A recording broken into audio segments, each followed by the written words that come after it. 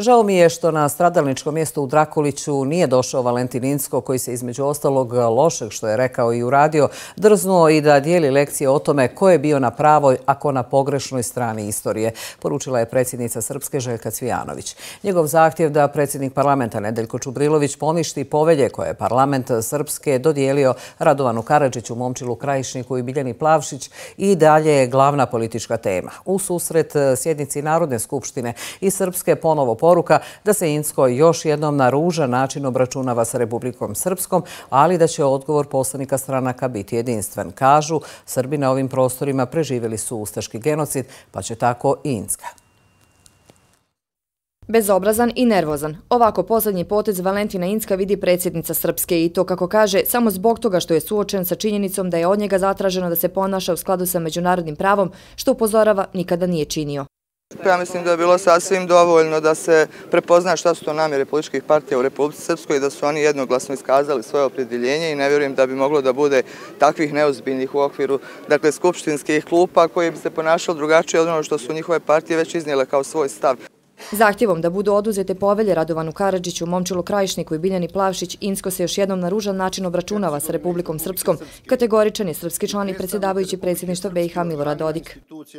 Svakdje u civilnom svijetu optužene osobe koje odležu, koje su osuđene i koje izvrše svoje kazne i e, nakon toga su slobodne. Plavčićka i pokojni krajišnik imali su sva građanska prava i niko im posle odležane kazne ništa nije mogao da u tom pogledu pripiše. Dakle, pojavio se jedan isko koji sada nama drži predavanje o tome, a u isto vrijeme toleriše sve ono što je tamo u, u Sarajevu.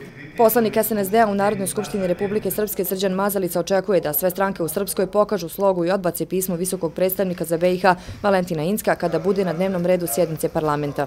Nema nikakvog razloga da ne bude te sloge. Sve partije su deklarativno sudile to pismo i kada je u pitanju e, ultimatum koji je on postavio e, Narodnoj skupštini Republike Srpske, e, on je svakako neprihvatljiv.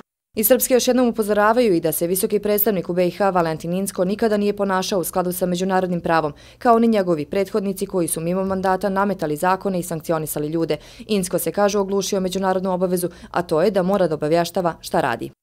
S obzirom da smo i mi zatražili da on to uradi konačno jednom okviru svog mandata kako je propisano, da sebi ne pribavlja ovlaštenja koja nema jer ih nema po međunarodnom pravu, e onda je krenuo sa ovim zahtjevom, dakle na koji način da se ponaša neko ad hoc tijelo Skupštine koji u jednom periodu dakle, utvrđivalo ko treba da dobije priznanje. Dakle, način pokazuje njegovu nervozu, ali pokazuje i zlu namjeru. To što nije u skladu sa Dejtonskim sporazumom ovdje funkcioniše već 24-5 godina, u liku takvih e, zlotvora kakav je Insko i drugi koji su ovde e, maltretirajući Srbe, našu republiku, srpski narod u cijelini, e, provodeći politiku, separatnu politiku prema nama, osvete, kažnjavanja i svega onoga što su činili proteklom vremenu.